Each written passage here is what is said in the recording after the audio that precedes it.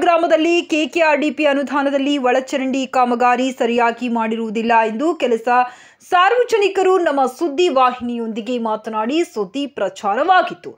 ಎಚ್ಚೆತ್ತುಕೊಂಡು ಗುತ್ತಿಗೆದಾರರಾದ ರಮೇಶ್ ರವರು ಶಾಸಕರಾದ ನೀಮಿ ರಾಜ್ ನಾಯ್ಕ್ ರವರ ಮಾರ್ಗದರ್ಶನದಂತೆ ಕೆಲಸವನ್ನ ಪೂರ್ಣಗೊಳಿಸುತ್ತಾರೆ ಎಂದು ರೈತ ಸಂಘದ ಮುಖಂಡರಾದ ಸುಧಾಕರ್ ಬೀರಪ್ಪ ಚಂದ್ರಪ್ಪರವರು ಕೆಲಸ ಮಾಡಿದ ಗುತ್ತಿಗೆದಾರರಿಗೂ ಹಾಗೂ ನಮ್ಮ ಸುದ್ದಿ ವಾಹಿನಿಗೂ ಧನ್ಯವಾದಗಳನ್ನ ತಿಳಿಸಿದರು.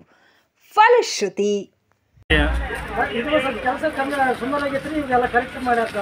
ನಿಮ್ಮ ಹೆಸರು? ಕೆಲ ಕೆಲಸ ಚೆನ್ನಾಗಾಯ್ತು ಒಳಗಡೆ ಅದು ರಮೇಶ್ ಅದು ರಮೇಶ್ ರಮೇಶ್ ಇಂದ ಚೆನ್ನಾಗಾಯ್ತು ಕೆಲಸ. ಅದು ಸುದ್ದಿ ಲೈನು ಕಿಸಿನ ಟಿ ವಿ ಲೈನು. ಹಾಂ ಇದ್ದಾಗಿತ್ತು ಕೆಲಸ ಚೆನ್ನಾಗಾಯ್ತು ಆ, ರಾಂಪುರ ಗ್ರಾಮದ ರೈತರ ಸಂಘದ ಮುಖಂಡ ಸುಧಾಕರ್ ಅಂತೇಳಿ ನಾವು. ಈ ಹಿಂದೆ ಈಗ ಶರಂಡಿ ಮಾಡ್ಯಾರ ಕಳಪೆ ಆಗೈತೆ ಅಂತೇಳಿ ನಾವು ಅವರಿಗೆ ಮಾಧ್ಯಮದವರಿಗೆ ಮತ್ತು ಕಿಸ್ಕಿಂಡಿ ಟಿ ವಿಯವರಿಗೆ ವರದಿ ಕೊಟ್ಟಿದ್ವಿ.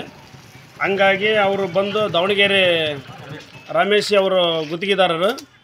ಈ ನಾವೇನು ಈ ಕಳಪೆ ಆಗೈತೆ ಅಂತ ಹೇಳಿದ್ವಿ. ಆ ಇಂಜಿನಿಯರ್ ಇವರು, ಇವ್ರ ಹೆಸರು? ಸರ್ ಅವರು, ಅವರಿಗೆ ಕರೆಸಿ ನಾವು ಇದು ಮಾಡಿದ್ದಕ್ಕೋಸ್ಕರ ಎಲ್ಲ ನಮಗೆ ರೈತರಿಗೆ ಓಡಾಡಕ್ಕೆ ಏನೋ ತೊಂದರೆ ಆಗದಂಗೆ ಈಗಿಂದ ಈಗಲೇ ಪಾಪ ಬಂದು ಎಲ್ಲ ಕೆಲಸ ಮಾಡಿ ಕೊಟ್ಟು ಹೋದ್ರು. ಇನ್ನೊಂದು ಸ್ವಲ್ಪ ಉಳಿದಂತ ಮತ್ತೆ ಹೇಳಿಕೆ ಹೇಳ್ಕೊಂಡದಕ್ಕೆ ಈಗೂ ಬಂದು ಮಾಡಿ ಎಲ್ಲ ಕೆಲಸ ನೀಟ್ ಮಾಡಿ ಕೊಟ್ಟು ಹೋಗ್ಯಾರ ನಮಗೆ. ಅವರೆಲ್ಲರಿಗೆ ನಾವು ಕೃತಜ್ಞತೆಗನ್ನ ಅಂತ ಹೇಳ್ತೀವಿ ಹೇಳಿ ನನ್ನ ಎರಡು ಮಾತು